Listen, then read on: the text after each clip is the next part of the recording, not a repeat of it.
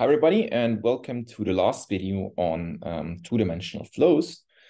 So in this video, we'll be dealing with the missing part of this folder. So we'll essentially be dealing with the active barriers, and we will extracting we will be extracting barriers to the transport of active vectorial quantities, such as, for example, velocity or vorticity, um, from two-dimensional velocity data.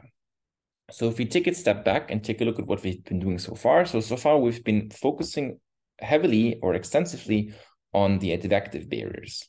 So we are basically looking for, okay, we were looking for exceptional surfaces. And by exceptional, I mean um, either the most stretching or the most shearing and material lines, uh, which somehow shaped the distribution and the evolution of tracers uh, in, the, in the velocity field, so in the flow.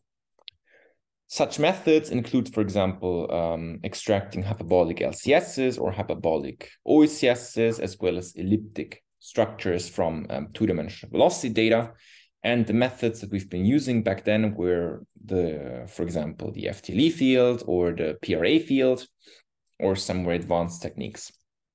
Then we've been focusing on uh, diffusion barriers. So we're basically looking for barriers to the diffusive transport, and we're looking for barriers which either maximally inhibited or maximally enhanced the transport of um, diffusive uh, scalars. These might, for example, include the, uh, the plankton concentration in the ocean. And then one can, could extend this theory uh, for the trans for, for um, getting diffusive barriers also to stochastic barriers by simply modeling the stochastic process as um, as the Wiener process and and um, and and and then then just applying the same techniques that we use for diffusion barriers also to stochastic barriers. Now in this video we'll be focusing on the active barriers, and I would recommend that you go through this paper here, um, published in 2020, where essentially these objective barriers to the transport of uh, dynamically active vector quantities have been defined. And again, by by we will generally be looking at so the two most common active vectorial quantities are the linear momentum, so basically which is related to the velocity, and um, the vorticity. By active, why, why active? Because essentially the velocity and the vorticity they are directly coupled to the to the um, to the underlying velocity field, so to the underlying flow, basically. And of course, these barriers need to be material and objective. And what emerged is that um, these, these objective barriers maximally inhibit the diffusive transport of these active vectorial quantities. Why? Because, for example, if we take a look at linear momentum, or if we take a look at the Navier-Stokes equation for, uh, for a fluid, which is written down here, then one could basically subdivide this into a viscous and non-viscous part.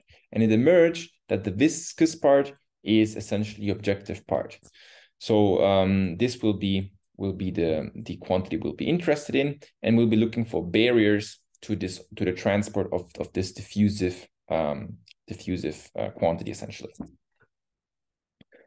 And it emerges that, so if we scroll up again, so the, the, the final statement is that the, the transport barriers that we, um, we detect will maximally inhibit the diffusive transport of a dynamically active vector field. And this can be, as I said, either linear momentum or angular momentum or vorticity.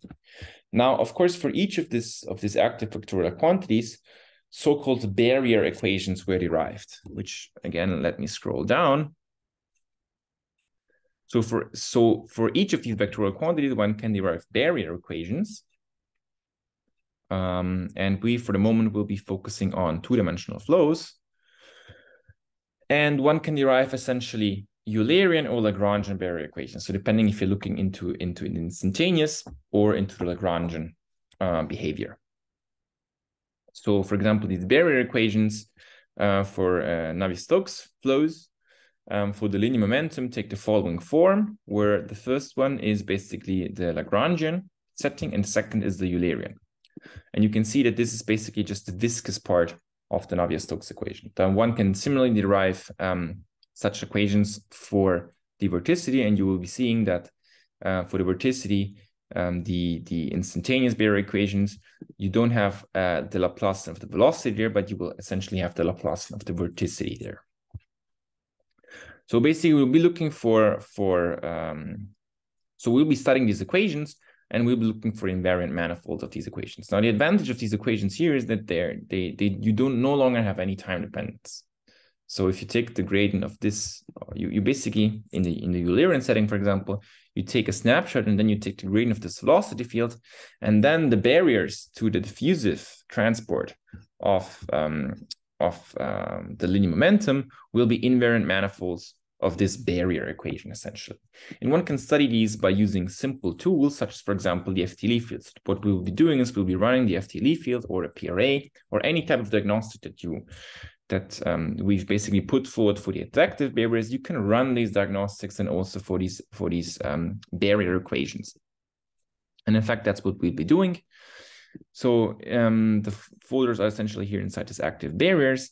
And we, as I said, you can you can so these these uh, folders here essentially contain the notebooks where we basically run the diagnostics on the corresponding barrier equation, whereas these uh, notebooks here are simply the notebooks which define the barrier equations. So for example, if you take a look at, at this instantaneous active momentum notebook, what it does is it, it's if, if this is the barrier equation for the instantaneous um, linear momentum, then this notebook simply computes the right-hand side. So it simply computes an interpolant for the right-hand side of this equation here. Similarly, if I go back and take a look at, for example, the, the Lagrangian active vorticity, then this notebook, what it does, it simply computes the barrier equation, so this right-hand side, for um, the Lagrangian vorticity. And then once you have this equation here, so once you have the interpolant for this equation here, then you can simply run, as I said, the classic tools that we've been using also for the advective barriers. So let's, if we go back, for example, to the instantaneous active momentum barrier equation, well, what does it require as input? You need to have the gradient of the vorticity. Time is fixed here. So the time is fixed and J is simply the skew symmetric matrix.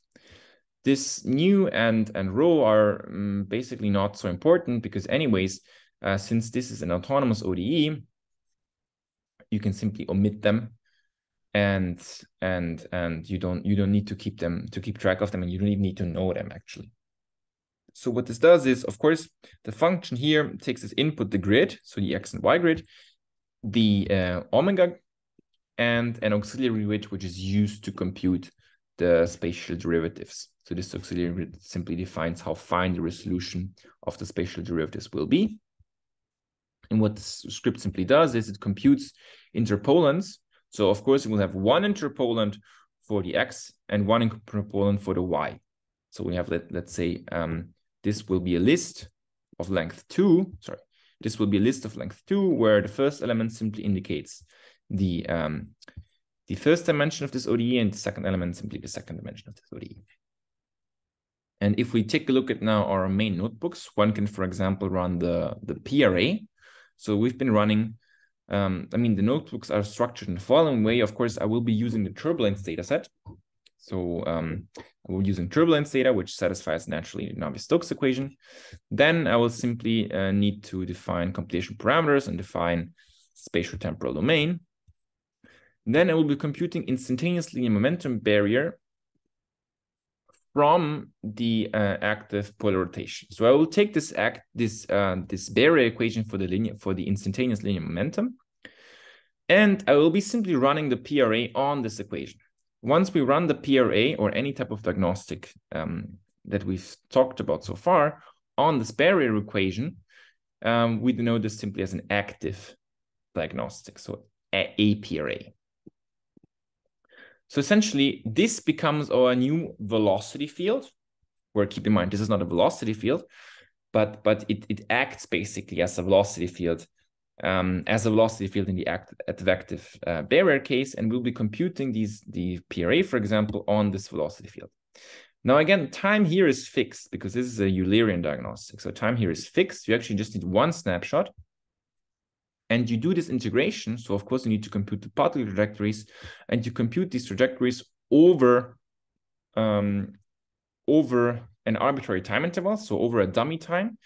And since this is a this is an um, an autonomous ODE, actually you can you can um, the you can actually keep do the integration as long as you want, basically.